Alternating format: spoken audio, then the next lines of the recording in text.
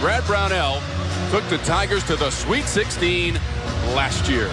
Clemson in the white, Lipscomb in the purple, and the Bisons have the ball to start. Lost to Kansas in the Sweet 16 after wins against New Mexico State and Auburn at the NCAA tournament. This is Cooper.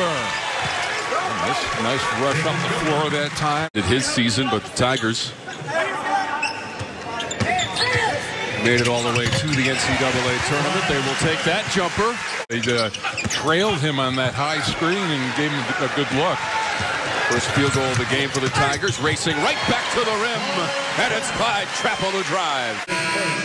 Tigers third. There's that uh, offense to defense, good rush up the floor that time. Nobody stopping the basketball.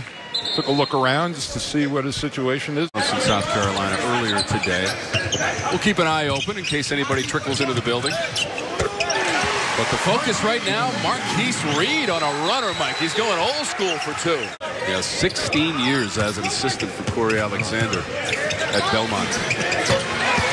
Out of the corner for three. Only His second field goal attempt of the game. So they're they're not even giving him touches. Reed, He's a, he's, a, he's a young man that can get down himself a little bit too. who averages just over 19 points per game to lead the way for the Tigers and third best in the ACC. He and, he and Trapp combined have 14 of the 15 points for the Tigers. And this is in Mar- Marbur's are probably their their best and most reliable low post player. You see the the pump fake. Uh, looks like Kevin McHale. If you add up the career totals of the entire roster, they are over 7,000 points. And there's Marberry going strong to the rim. toward the baseline. He's got four now. Averages over 16 per game. That shot is good. Shelton Mitchell, who has not won in Durham since 1995. Turnover by Lipscomb. To the rim. And the hammer, John Newman.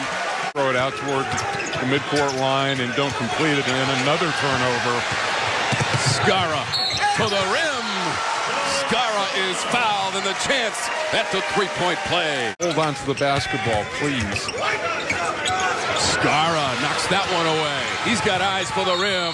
Skara! Chance at back-to-back three-point play. Field goal attempt of the game because of all those turnovers.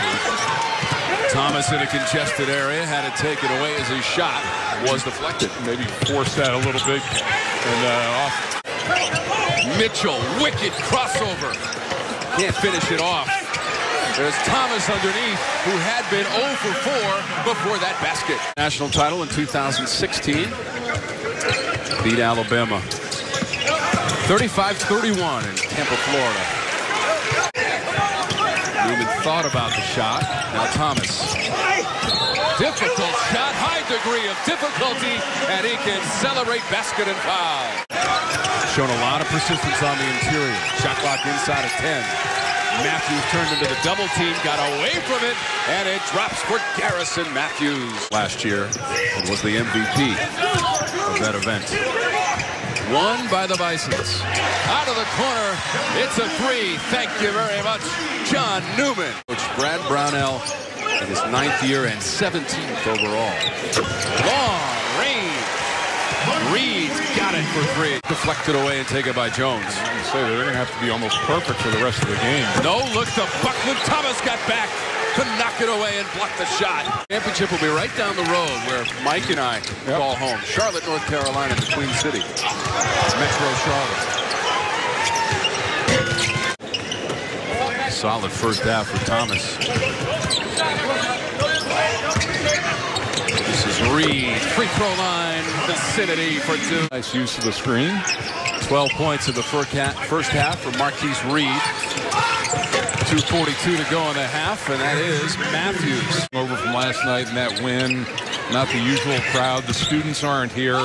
So this is a game you have to provide your own energy for and rely on your upperclassmen and Reed bringing that to them. With 14 points. And he leads everybody at that figure. He'll run the break. Go to his left. The layup is good. Trapp. Coach Brownell may have a conversation with him after the game. Marberry up and under. Mathews had it rejected from Thomas. He'll run an odd man break. Threading the pass is Reed, and Thomas has the jam. Corral and he just he took off on a dead sprint. Elijah Thomas goes 6'9", 245, and he could move for game. Reed off the curl, had it swiped away. Kenny Cooper waits for reinforcements in the form of Marberry with the layup. So he felt good about taking that shot because uh, of the hustle back down the other end by Thomas. Mathews stepping into the three and hitting it. Cooper off the turnover against two defenders. Whistle and foul as Trapp tried to get back. And an 80% free throw shooter for the Tigers. Cooper off the glass. Tigers are in a game here in the second half after leading by 19 at halftime. Cooper Make it a five-point game. We've gone over four and a half minutes without a make until Skara hits the three from the corner. Shot clock is down to five for Marquise Reed. Trying to shake Buckland. Slightly falling away, and it doesn't matter. He's ripping the ropes. He's one of nine teams from the ACC to go to the NCAA tournament. Newman missed. Simms did not. I don't know that the students will be back by January 5th, so it may, may not be the same Cameron you know, that, that uh, they're used to. Time for maybe just one more run here. Skara may put an end to those thoughts with a chance at a three-point play. And I think, you know, if they can keep that number there offensively, 13, you know, 12 to 14 points from him in conference.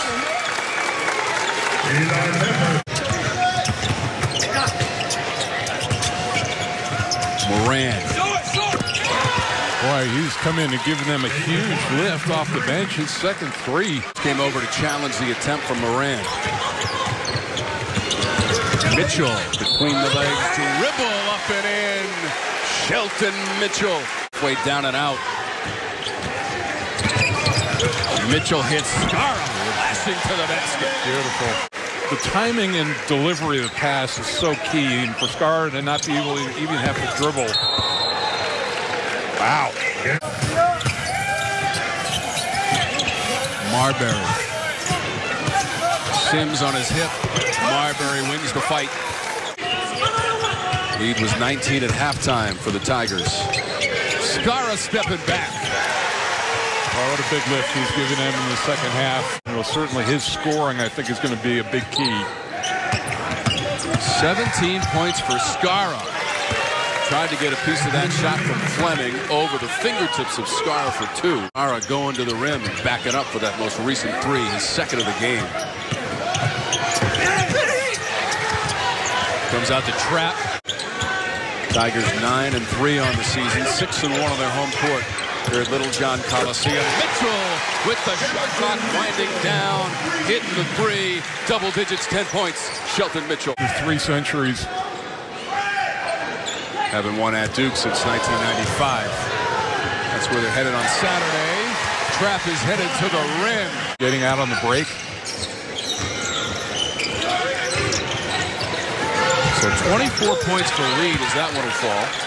Factor in their conference for sure. To keep everybody healthy. Defending champs in the A-Sun. This is Reed. Clear path to the rim. And it's a rim bender for Marquise Reed. It's going to be the 10th win of the season for the Clemson Tigers, who improved their record at home at Littlejohn Coliseum to 7 and 1. Final count 84 67.